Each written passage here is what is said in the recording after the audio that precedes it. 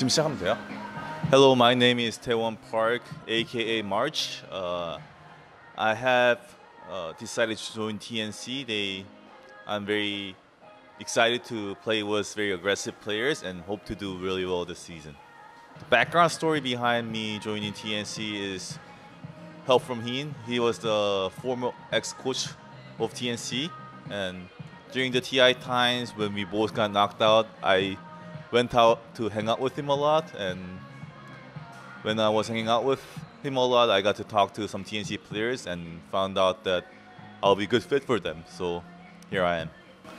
When I lost to Mineski at the qualifier, it was one of my saddest feeling.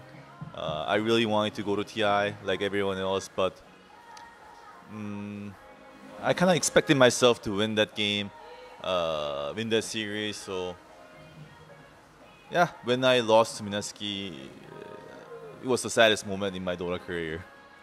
Um, so when I went to TI as a coach of Fnatic, it was very refreshing um, experience. So yeah, I got to feel like I've been there as a player, I've been there as an analyst, and now I was there as a coach. But yeah, being there as a coach was different. Watching the games uh, at downstairs and then not really having a full control of how things goes, kind of feels weird. But being a coach was uh, definitely a fun job, and I I think I enjoyed it as well.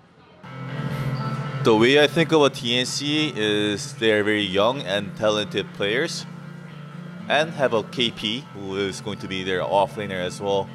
Uh, I think all of them are very talented and they are also very smart too. But the feedback I got from the Heen is that I need to be a connecting piece of them and lead them to, you know, the direction of how we should play Dota. And yeah, I think Armel, the mid laner of TNC, is very aggressive and solid, really strong laner. And uh, Tims is one of the uh, best position four, and same for Gabbi. So I'm very excited to play with them. And yeah, I'm also very excited to play with Kpii as well, who used to be my ex-teammate and see how he has changed in a couple of years.